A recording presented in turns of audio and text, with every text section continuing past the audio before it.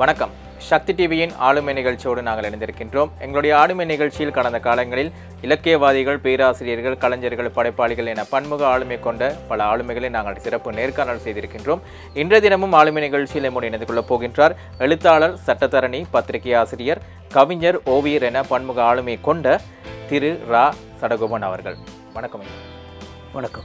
முதலாவது கேள்வியாக எழுத்துத்துறைக்கு வந்தவர்களுக்கு ஒவ்வொரு பின்னணி இருக்கும் சிலர் எதேச்சையாக வந்திருப்பார்கள் சிலர் விருப்பப்பட்டு வந்திருப்பார்கள் சிலர் இதுதான் என்னுடைய துறை என்று தெரிவு செய்து வந்திருப்பார்கள் உங்களுடைய எழுத்து பிரவேசம் எவ்வாறு? எனது எழுத்துத்துறை பிரவேசமானது மிக இயல்பானது தான் ஏனென்றால் நான் சின்ன வயதிலிருந்தே ஒரு நல்ல வாசகன். எனவே நாங்கள் ஒன்பதாம் வகுப்பு படிக்கும்போது கையெழுத்து பிரதிகள் பாடசாலையில் கையெழுத்து பிரதிகள் தயாரித்து அதனை நண்பர்கள் வட்டத்துக்கும் பாடசாலை வட்டத்திலும் பிற பாடசாலைகளுக்கும் கூட அனுப்பி கிட்டத்தட்ட இரண்டு வருட காலங்கள் தொடர்ச்சியாக அதை நடத்தி வந்தோம். அப்போதிலிருந்தே எனக்கு இந்த எழுத்துத்துறை என்பது ஒரு கைவந்த கலையாகிவிட்டது. சரி இன்னும் ஒரு கேள்வி இருக்கிறது இலங்கையில் இருக்கின்ற மக்களுக்கு கருத்து சுதந்திரம் இருக்கின்றது. எழுத்தாளராக எழுத்துலகில் நீங்கள் இருக்கின்ற பொழுது உங்களுக்கு எழுத்து சுதந்திரம் இருக்கின்றதா? எழுத்தாளர்களுக்குள்ளேய எழுத்து சுதந்திரம் என்பது வித்தியாசமானது. அதாவது இப்பொழுது நீங்கள் பத்திரிகையாளரை எடுத்துக்கொண்டால் அங்கே சில கட்டுப்பாடுகள் மட்டுப்பாடுகள் எல்லாம் காணப்படுகின்றன. ஆனால் ஒரு நாவலை எழுதுகின்ற எழுத்தாளன் தனது மனதில் வருகின்ற கற்பனையை அப்படியே எழுதுவதற்கான எழுத்து சுதந்திரம் இருக்கின்றது என்று தான் குறிப்பிடுவேன். என்னை பொறுத்தவரை இலங்கையில் சர்ச்சைக்குரிய எழுத்துக்கள் என்று மிக குறைவாகவே காணப்படுகின்றன. இதுவரை நான் எழுதிய எழுத்துக்கள் ஒரு சர்ச்சைக்குரியதாகவோ அல்லது அது இலக்கணம் மீறியதாகவோ இருந்ததாக நான் எதிர்கொள்ளப்படவில்லை. இன்னும் விடயம் இருக்கிறது நீங்கள் வரலாற்று நாவல்களை எழுதியிருக்கின்றீர்கள். பல வேற்றுமொழி நூல்களையும் தமிழில் மொழிபெயர்ப்பு செய்திருக்கின்றீர்கள். இந்த மொழிபெயர்ப்பு செய்கின்ற பொழுது அதில் ஏதேனும் முரண்பாடுகள் உங்களுக்கு வந்ததா? என்னை பொறுத்தவரையில் நான் மிகவும் தேடி பிடித்து மொழிபெயர்ப்பு செய்த இந்த நூல்கள் அநேகமானவை. மலையக மக்களின் வாழ்வியல் அவர்களது துன்பம் சார்ந்ததாகவே இருந்திருக்கிறது.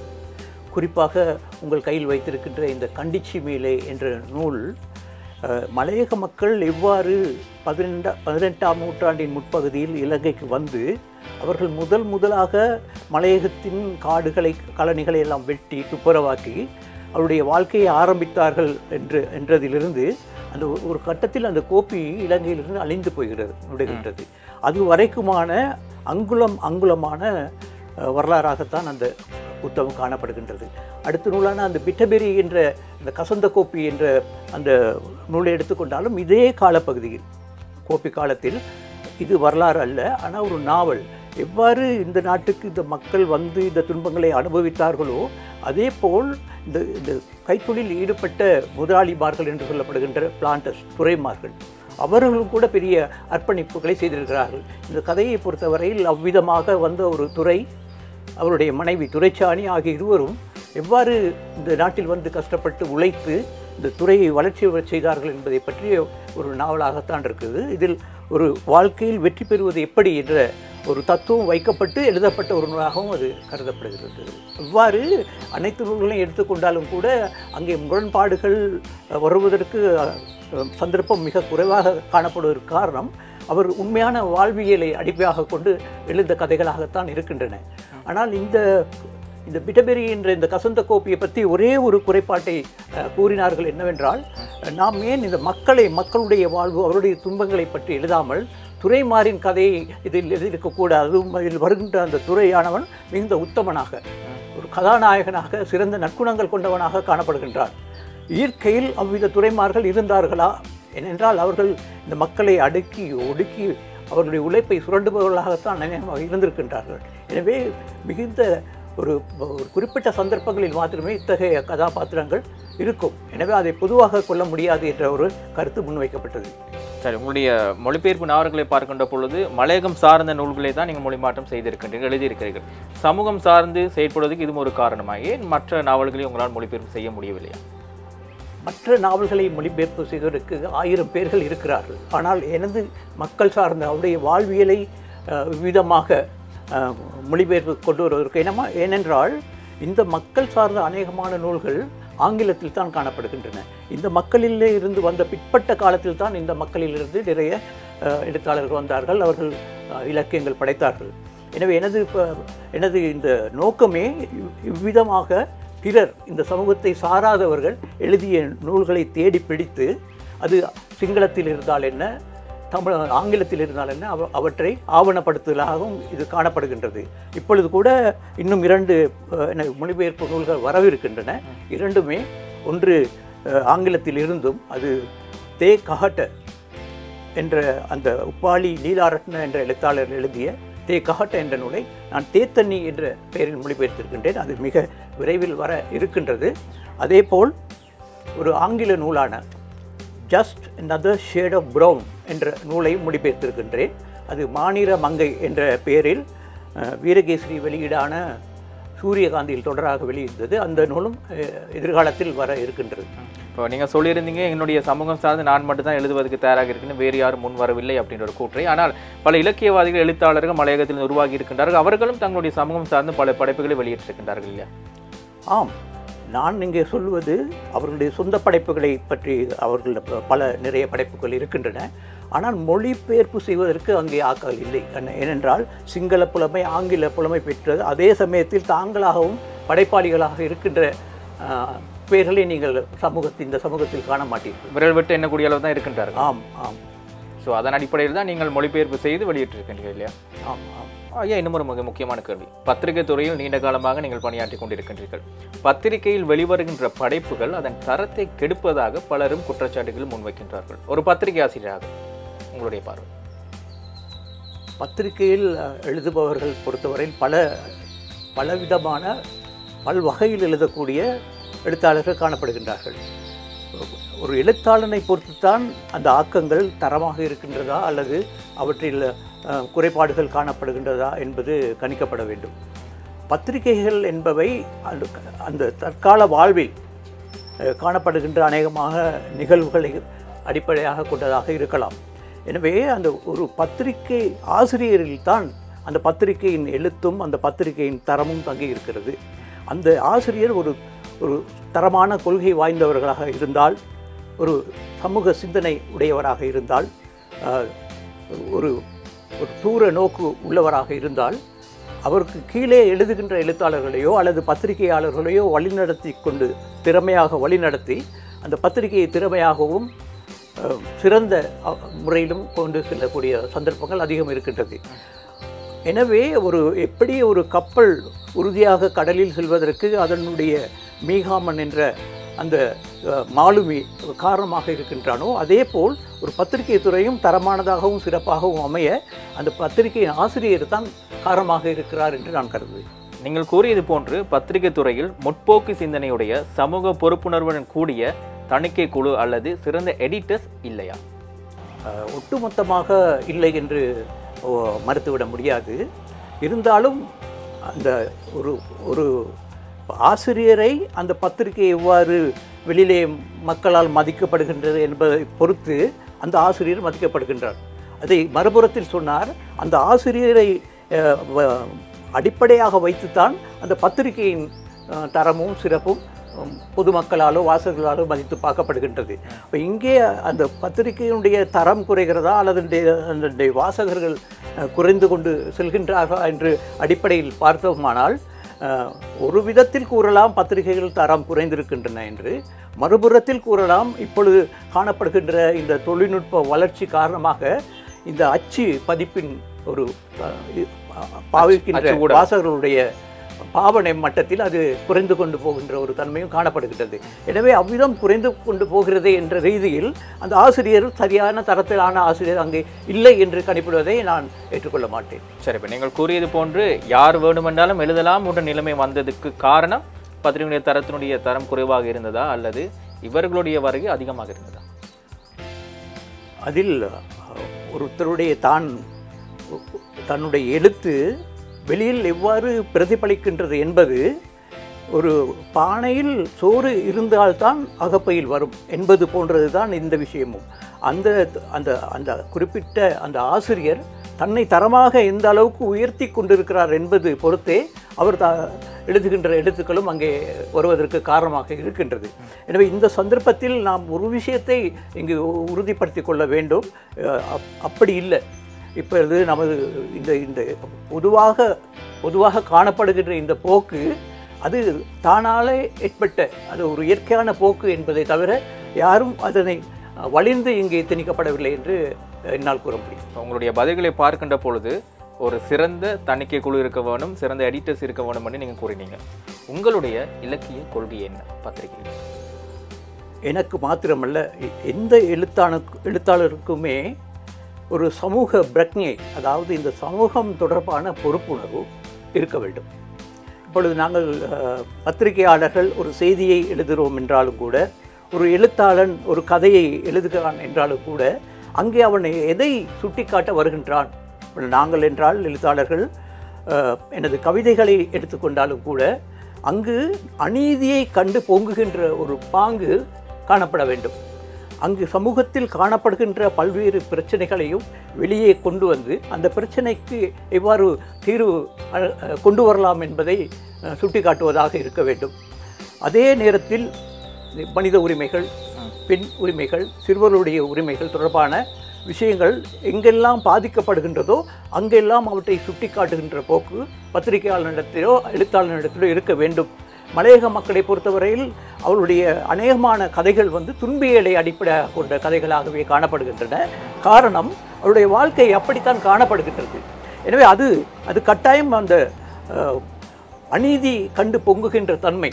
நாங்கள் மகாகவி பாரதியாரை எடுத்துக்கொண்டோம் என்றால் அவருடைய அந்த நியாயமான சீற்றம் அவருடைய தோற்றம் ஒரு மீசையை முறுக்கி கொண்டிருக்கின்ற தோற்றம். அவர் அணிந்திருக்கின்ற தலைப்பாகை ஒரு கம்பீரத்தை அவருக்கு தருகின்றது பாங்கு எல்லாமே ஒரு கோபக்கார கவிஞன் பாரதியார் என்றால் ஒரு சீற்றம் கோபம் கொண்ட ஒரு கவிஞன். அவருடைய ஒவ்வொரு கவி வரியிலையும் ஒரு சீற்றம் காணப்படுகின்றது. அதே போன்று தான் இந்த எழுத்தாளர்கள் அநேகமான எழுத்தாளர்கள் அவ்வாறு தான் இருக்க வேண்டும். அஹ் அப் அப்பொழுதுதான் சமூகத்தில் காணப்படுகின்ற இந்த அநீதி அநீதிகளை எம்மால் ஒழித்து கட்ட முடியும். பிறரும் கூட மக்களும் கூட எம்மோடு சேர்ந்து அவர் வரக்கூடும். சரி ஒரு அருமையான பதில். நாற்பது வருடமாக இலக்கிய பயணத்தில் பயணித்துக் கொண்டிருக்கின்றீர்கள். இலக்கிய உலகில் குறிப்பிடத்தக்க மாற்றம் ஏதும் நிகழ்ந்திருக்கின்றதா? கட்டாயமாக இலக்கியம் என்று நாங்கள் கூறும்போதே பல்லாண்டு காலமாக ஒரு சமூகத்தில் காணப்படுகின்ற பல்வேறு விஷயங்களையும் வெளிச்சம் போட்டு காட்டி மக்களுக்கு தெரிவிக்கும் ஒரு கண்ணாடியாகத்தான் அது இருந்திருக்கின்றது இருந்து வருகின்றது. அப்படித்தான் அது அதனுடைய இயல்பு. அந்த இயல்பை யாராலும் மாற்ற முடியாது. இப்போ இன்றும் கூட நாம் இன்று பார்க்கின்ற விஷயங்கள் இப்போ அண்மையில் கூட அஹ், மலையகை சேர்ந்த நாற்பது இளம் இளைஞர் யுவதிகள் ஒரு கண்காட்சியை புகைப்பட கண்டி கண்காட்சியை இங்கே கலாபவனத்தில் வைத்திருந்தார்கள். அங்கே அதை பார்த்துவிட்டு பிறகு ஒரு கலந்துரையாடல் நிகழ்த்திய போது பலரும் குற்றம் சாட்டினார்கள். இது ஏன் நீங்கள் இந்த மலையகத்தின் வறுமையை ஏன் விற்கிறீர்கள் என்று ஒரு குற்றச்சாட்டை அவர்கள் முன்வைத்தார்கள். நான் பதில் கூறும்போது முதலில் வறுமையை விற்கிறோமா? இல்லை காசுக்கு அதனை விற்பனை பண்டமாக்குகிறோமா என்பது அல்ல இங்கு முக்கியமானது. இங்கு சொல்லப்பட்டிருக்கிற விஷயங்கள் உண்மையா பொய்யா? முதலில் அந்த கேள்விக்கு பதில் கூறுங்கள். அது உண்மையாக இருக்குமானால் அது அது இது செய்யப்பட்ட இந்த செயல் மிக சிறந்த செயல் என்று நான் கூறுவேன். இதனை திரித்து இந்த படங்களை பிடித்து வந்து இப்படி இல்லாத ஒரு பொய்யை நீங்கள் காட்டியிருப்பீங்கன்றால் அந்த நேரத்தில் வேண்டுமென்றால் உங்களது குற்றச்சாட்டை நியாயப்படுத்தலாம். உங்களது குற்றச்சாட்டில் எந்தவித நியாயமும் இல்லை என்று நான் அங்கே கூறினேன். ஐயா நீங்கள் கூறியது போன்று மலையகத்தில் இருக்கின்ற எழுத்தாளர்கள் மலையகத்தில் இருக்கின்ற வறுமையை பற்றி எழுதுகின்றார்கள். அதே போன்று வடக்கு கிழக்கில் இருக்கின்ற எழுத்தாளர்கள் அங்கே இருக்கின்ற போர் சூழ்நிலையை பற்றி அதிகமாக எழுதி கொண்டிருந்தார்கள். ஏன் இது தவிர்த்து வேறொன்றும் இல்லையா எழுதுவதற்கு? இந்த பிரதேசங்களில். சமூகத்தில் எழுதுவதற்கென்ற பல்வேறு விஷயங்கள் காணப்படுகின்றன. ஆனால் எரிகின்ற எழு எரிகின்ற விஷயங்கள் என்ன? ஒரு எழுத்தாளனின் நெஞ்சில் தைக்கின்ற விஷயங்கள் என்ன என்பதைத்தான் அந்த எழுத்தாளன் எழுதுவான் எழுதுவதற்கு தேர்ந்தெடுப்பான். எங்கெல்லாம் ஒரு தனி மனிதன் பட்டினியால் சாகுகின்ற நிலைமை காணப்படுகின்றதோ அதுவரை நாம் பட்டினியை ஒழித்து கட்ட வேண்டும் என்று சொல்லித்தான் ஆக வேண்டும். மலையகத்தில் இன்னும் அங்கு காணப்படுகின்ற மொத்த தொழிலாளர்களின் சுதத்தை எடுத்துக்கொண்டால் மொத்த சனத்தொகையில் ஒரு ஐந்து சதவீதத்தினர். அதாவது அந்த மொத்த சனத்தொகையினர் பதினேழு லட்சம் பேர் என்று எடுத்துக்கொண்டோமானால் ஒரு நாலு லட்சம் பேர்கள் தான் அங்கே இப்பொழுதும் தேயிலை தோட்டத்தில் தொழிலாளர்களாக இருக்கின்றார்கள். ஏனையோர்கள் ஏதோ ஒரு விதத்தில் படித்தோ தொழிலில் முன்னேறி அந்த சமூகத்திலிருந்து வெளியே வந்து தோட்டத்துக்கு வெளியே இப்பொழுது இருக்கின்றார்கள். ஒரு சமூகத்தின் முன்னேற்றத்தை எவ்வாறு கணிப்பிடலாம்? மலையக சமூகத்தை பொறுத்தவரையில் அவர்களுக்கு இப்பொழுது பலர் பலரிடம் த்ரீ வீலர் என்று சொல்லப்படுகின்ற ஆட்டோ காணப்படுகின்றது. இரண்டு சக்கர வண்டி மோட்டார் சைக்கிள் காணப்படுகின்றது. கைகளில் விலையுறந்த டெலிஃபோன் வைத்திருக்கிறார்கள். போன்றவற்றையெல்லாம் வைத்துக்கொண்டு அந்த சமூகம் முன்னேறி இருக்கிறது என்று நாம் குறிப்பிட முடியுமா என்று பார்த்தால் நான் முடியாது என்று கூறுவேன். அதே சமயத்தில் அந்த சமூகத்திலிருந்து எந்த அளவுக்கு தொழில்சார் நிபுணத்துவம் பெற்றவர்கள் வந்திருக்கிறார்கள். அவருடைய சுகாதார குறிகாட்டி இறப்பு வீதம் எவ்வாறு உயர்ந்து காணப்படுகின்றது அவர்களில் மந்த போசனை எவ்வாறு காணப்படுகின்றது என்பவற்றில் இருந்து ஒரு கணிப்பீட்டை அவர்கள் எந்த அளவுக்கு உயர்ந்த அளவுக்கு வந்திருக்கிறார் என்று பார்க்கலாம். ஆனால் அப்படி பார்த்தோமானால் இன்னும் மலையகம் சற்று ஏனைய சமூகத்தினரை ஒப் ஒப்பிட்டு பார்க்கும்போது அங்கே பின்னாகி பின்னோக்கித்தான் காணப்படுகின்றது என்றே என்னால் ஆணித்தரமாக கூற முடியும். சரி இந்த மலையகத்தினுடைய வறுமை வந்து மலையகத்தில் இருக்கின்ற தனி நபர் சார்ந்ததா அல்லது அங்க இருக்கின்ற சமூகம் சார்ந்ததா? மலையகத்தில் காணப்படுகின்ற வறுமையை ஆரம்பத்தில் தாய் சேய் மரணம் எவ்வாறு காணப்படுகின்றது என்பதை வைத்து பார்த்தார்கள். அந்த சிறு பிள்ளைகள் மத்தியில் இந்த எனீமியா என்று சொல்லப்படுகின்ற இரத்த சோகை வியாதி எந்த அளவுக்கு காணப்படுகின்றது என்பதை வைத்து பார்த்தார்கள். ஆனால் இப்பொழுதும் பார்த்தால் அவர்கள் எந்த அளவுக்கு அவர்கள் மத்தியில் சுகாதார வசதிகள் காணப்படுகின்றன எந்த அளவுக்கு வைத்தியசாலை வசதிகள் அங்கு காணப்படுகின்றன என்று பார்த்தால் இன்னும் போதாது என்று கூறலாம். எனவே வறுமையானது ஓரளவு அதாவது ஒரு ஐ- ஐம்பது வருடங்களுக்கு முன்னிருந்த நிலைமையை விட இன்று பல மடங்கு முன்னேறி இருக்கிறது என்று ஒரு ஒட்டுமொத்தமான பார்வையை கொண்டு பார்க்கலமையுடைய அங்கு முன்னேறி இருக்கிறது என்று ஒரு கணிப்பீட்டுக்கு இன்னும் வர முடியாத நிலைமையில் தான் நாங்கள் காணப்படுகின்றோம். ஐயா இன்னமொரு விடயம். மலையக மக்கள் ஆய்வு மன்றம் மலைநாட்டு எழுத்தாளர் மன்றம் தமிழ் சிங்கள எழுத்தாளர் ஒன்றியத்தின் துணைச் செயலாளர் போன்ற பல பதவிகளை நீங்கள் வகித்திருக்கிறீங்க. குறிப்பிட்டு சொல்லக்கூடிய தமிழ் சிங்கள எழுத்தாளர் ஒன்றியத்தில் இருக்கிறபடியால் நீங்கள் இந்த அமைப்பு என்ன செய்திருக்கின்றது? தமிழ் சிங்கள எழுத்தாளர்களுக்கு இடையிலான உறவு முறை இவ்வாறு இருக்கு. இத்தகைய இலக்கிய அமைப்புகள் சங்கங்கள் என்பன ஒவ்வொரு குறிப்பிட்ட காலகட்டத்தில் நமக்கு எழுந்த தேவைகளின் பொருட்டு உருவாக்கப்பட்டு செயற்படுவதற்காக ஏற்படுத்தப்பட்டவை. நீங்கள் சொல்கின்ற இந்த மன்றங்கள் எல்லாம் அவ்வப்போது இப்பொழுதும் கூட மலைநாட்டு எழுத்தாளர் மன்றத்தில் நான் செயலராக இயங்கிக் கொண்டு தான் இருக்கின்றோம். வருடா வருடம் ஒரு கவிதை போட்டி சிறுகதை சிறுகதை போட்டி என்பவற்றை ஏற்படுத்தி பிள்ளைகள் மத்தியில் அவர் சில பேரை தெரி தெரிவு செய்து அவர்களுக்கான பரிசு கொடுத்தல் போன்ற செயற்பாடுகளை செய்து வருகின்றோம். இவ்வா இவ்வாறான நூல்களை வெளியிடுவதற்கு இந்த மன்றங்களை நாங்கள் பயன்படுத்திக் கொள்கின்றோம். தமிழ் சிங்கள எழுத்தாளர்கள் எவ்வாறு தங்களுடைய கருத்துக்களை பரிமாற்றம் செய்து கொள்கிறார்கள் எவ்வாறு செயல்படுகிறார்கள் உறவுகள் எவ்வாறு காணப்படுகின்ற என்பன தொடர்பாக பார்த்தோமானால் பொதுவாக அங்கு ஒரு குறிப்பிட்டு சொல்லக்கூடிய அளவுக்கான ஒரு காத்திரமான நிகழ்வுகள் நடந்திருக்கின்றன என்று கேட்டீர்கள் என்றால் அவ்வாறு இல்லை என்று தான் நான் கூறுவேன். ஏனென்றால் இது ஒரு வழி பயணமாக இருக்க முடியாது. அதாவது தமிழில் இருந்து சிங்களத்துக்கு போக வேண்டும். சிங்களத்திலிருந்து தமிழுக்கு வர வேண்டும். ஆனால் இங்கு என்ன நடக்கிறது என்றால் அநேகமாக நீங்கள் இலங்கையில் காணப்படுகின்ற குறிப்பாக மலையகத்தில் வாழ்கின்ற யாரை எடுத்துக்கொண்டாலும் அவர்கள் சிங்களத்தில் கதைத்தால் அவர்கள் சிங்களத்தில் கதைப்பார்கள். அதே அதே நேரம் நீங்கள் வடக்கு கிழக்குக்கு போய் அங்கே யாருடனாவது சிங்களத்தில் கதைத்தால் கதைக்க மாட்டார்கள்.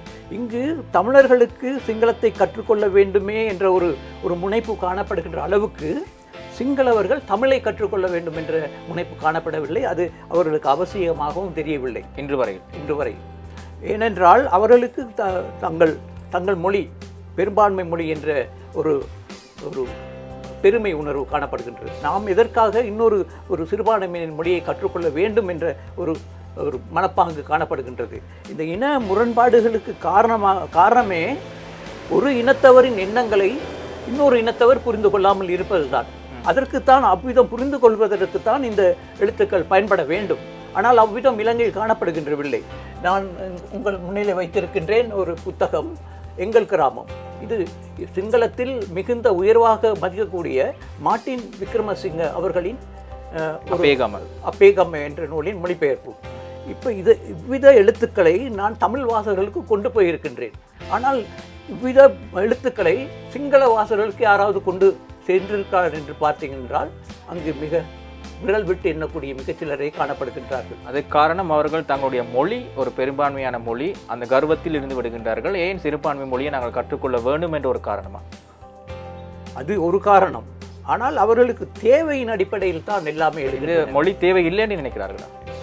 அவர்களுக்கு அதுக்கான அவசியம் இல்லை அவர்கள் இன்று அரசாங்க உத்தியோகத்தில் காணப்படுகின்ற அங்கு திணைக்களங்களுக்கு எங்கு சென்றாலும் அவருடைய தங்களுடைய மொழியில் இயங்குகிறார்கள். ஆனால் ஒரு தமிழர் அங்கே சென்றால் அவர் அவரால் இயங்க முடிவதில்லை. எனவே அவருக்கு ஒரு தேவை அங்கே எழுகிறது. சிங்களம் கற்றிருக்க வேண்டும் என்ற தேவை. அவ்வித தேவைகளின் அடிப்படையில் தான் இ- இத்தகைய செயல்கள் இடம்பெறுகின்றன. ஆனால் ஒரு ஒரு மனிதன் சுயமாக உணர்ந்து அந்த மொழியையும் படிக்க வேண்டும் அவருடைய கலாச்சாரத்தையும் தெரிந்து கொள்ள வேண்டும் இலங்கையில் நாங்கள் மூன்று மொழி பேசுகிறவர்கள் மட்டும்தான் இருக்கின்றோம். அப்படியானால் ஏன் நாங்கள் ரஷ்யாவில் எழுந்திருக்கக்கூடிய ஒரு ஒரு ஒரு நூலை மொழிபெயர்த்து இங்கு ஏன் நாங்கள் படிக்க வேண்டும்? ஹங்கேரியில் காணப்படுகின்ற ஒரு புத்த ஒரு ஒரு சிறுகதையை யாரோ ஒரு ஒரு ஆங்கிலத்துக்கு மொழிபெயர்த்து ஆங்கிலம் வாயிலாக அது தமிழுக்கு வருகின்றது சிங்களத்துக்கு போகின்றது. இன்று சிங்களத்தில் தமிழை விட அதிகமான மொழிபெயர்ப்பு நூல்கள் வந்திருக்கின்றன. ஆனால் அவை எல்லாமே பிற மொழியில் இருந்து வந்திருக்கின்றன. ஏன் அது? தமிழில் இருந்து போகவில்லை என்ற கேள்வி மிக பூதாகரமானதாக இருக்கின்றது. அதற்கு அவர்கள் ஏன் முயற்சிக்கவில்லை என்ற கேள்வியும் அங்கே எழுகின்றது. எனவே அதை கட்டாயம் நாம் குறிப்பிட்டுத்தான் ஆக வேண்டும். அவர்கள் மத்தியில் அதற்கான ஒரு ஆர்வம் காணப்படவில்லை. நீங்கள் கூறியது போன்று மும்மொழிகளையும் பேசக்கூடியவர்கள் இருக்கின்றார்கள். ஆனால் எழுத படிக்க தெரிந்தவர்கள் குறைவு. எழுத்தாளர்கள் மத்தியில் இந்த நிலைமை மாற வேண்டும் என்று சொன்னால் ஒரு மூத்த இலக்கியவாதி என்ற அடிப்படையில் என்ன செய்யலாம்? நான் ஆரம்பத்திலே குறிப்பிட்டபடி இது ஒரு வழிப்பாதையாக இருக்க முடியாது. இரண்டு பக்கங்களிலிருந்தும் அதற்குரியவர்கள் வர வேண்டும். ஆனால் துரதிருஷ்டவசமாக சிறுபான்மையினர் தான் பெரும்பான்மையின மொழியை கற்றுக்கொண்டிருக்கிறார்களே தவிர பெரும்பான்மையினர் அதற்கு அதற்கான ஆர்வம் செலுத்துவதில்லை. இந்த இடத்தில் ஒரு அரசாங்கம் தான் தலையீடு செய்ய வேண்டும். உண்மையிலே அரசாங்கங்கள் போதுமான அளவுக்கு மொழிபெயர்ப்பாளர்களை நியமிக்க வேண்டும். குறைந்தபட்சம் குறைந்தபட்ச ஒரு போலீஸ் ஸ்டேஷனில் ஒரு கட்டாயம் ஒரு தமிழ் தெரிந்த போலீஸ்காரர் தமிழர் ஒரு போலீஸ்காரர் நியமிக்க வேண்டும். ஒரு போஸ்ட் ஆஃபீஸில் ஒரு தமிழ் தெரிந்த ஒரு உத்தியோகத்தர் அங்கே இருக்க வேண்டும். ஆனால் அந்த மாதிரி விஷயங்களை தனி மனிதர்கள் செய்ய முடியாது. அரசாங்கங்கள் முன் வந்து அதை செய்ய வேண்டும். ஆனால் அவையெல்லாம் அப்படி ஏற்படாமல் இருப்பதற்கு காரணம் அரசாங்கத்திடம் போதுமான நிதி வசதி இல்லை என்ற என்ற பதிலே வருகின்றது. ஒரு உதாரணம் ஒன்று சொல்கின்றேன். அந்த அவர்களுடைய மனப்பாங்கு எப்படி இருக்கிறது என்று. நானும் இந்த நீங்கள் கேள்விப்பட்டிருப்பீர்கள் நாடக அரச அரச நாடக விழா என்று நாடக விருது வழங்கல் விழா. நாடக விழா என்று வைத்துக் கொள்வோமே அங்கே இப்பொழுது நாடகங்கள் தயாரித்து போட்டிக்கு அனுப்பப்பட வேண்டும். அங்கே அங்கே அரசாங்கம் அவ்விதம் நாடகங்களை தயாரிப்பதற்கு நிதி உதவி செய்கிறார்கள். அங்கே நிதி உதவி செய் வழங்குவதற்கான கூட்டம் ஒன்று கூட்டப்படுகிறது. அங்கே அவர்கள் நிதி வழங்குவதற்கான ஏற்பாடுகளாக சிங்கள நாடகம் ஒன்றை தயாரிக்க எழுபத்தைந்தாயிரம் ரூபாய் நிதி ஒதுக்கீடு செய்கிறார்கள். தமிழ் நாடகம் ஒன்றை தயாரிப்பதற்காக இருபத்தஞ்சாயிரம் ரூபாய் நிதியை ஒதுக்கீடு செய்கிறார்கள். பிறகு நான் கேட்கிறேன் அது எப்படி ஒரு நாடகம் சிங்கள மொழியில் தயாரித்தாலும் அதே செலவு தான் தமிழ் மொழியில் தயாரித்தாலும் அதே செலவு தான் மொழி மட்டும்தான் மாறுகின்றது. மொழி மட்டும்தான் மாறுகின்றது.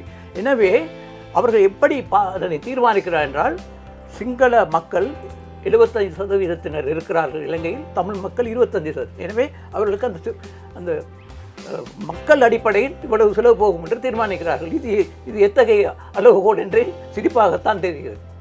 அந்த தருணத்தில் நீங்கள் உங்களுடைய குரலை உயர்த்தி கதைத்தது உண்டா? அதை சுட்டிக்காட்டிய படியினால் தான் உங்களுக்கு நான் அதனை இன்று கூறக்கூடியதாக இருக்கின்றது. இப்படித்தான் நடக்கிறது. இப்படி க அரசாங்கங்களுடைய கொள்கைகள் இப்படி காணப்படுகின்றது. ஒரு பன்முக ஆளுமைக்கு நீங்கள் ஒரு சிறந்த உதாரணம். எழுத்தாளராக இருந்திருக்கிறீர்கள் அதே போன்று சட்டத்தரணியாக கவிஞராக ஓவியராக.